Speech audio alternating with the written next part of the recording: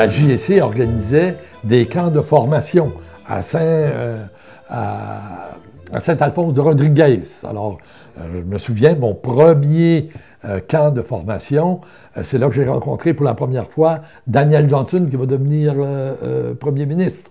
Et donc, apprivoiser, j'allais dire, les responsables politiques, j'ai connu ça euh, assez tôt. Et plus tard, euh, quand j'étais au campus Saint-Augustin, où effectivement euh, j'ai formé l'association étudiante, j'ai fait venir René Lévesque. J'ai fait venir Paul Gérard-Lajoie, parce qu'on est dans la mise en place de la réforme de l'éducation, la création des cégeps. Nous, on était déjà, moi je fais partie de la dernière cohorte des collèges classiques. Donc, on, j'ai fait venir euh, le ministre de l'Éducation, Paul Gérard-Lajoie, qui, euh, qui, est venu débattre avec nous de sa proposition globale de la création des, euh. Le Parti libéral a perdu l'élection. René Lévesque se retrouve dans l'opposition, un peu plus libre.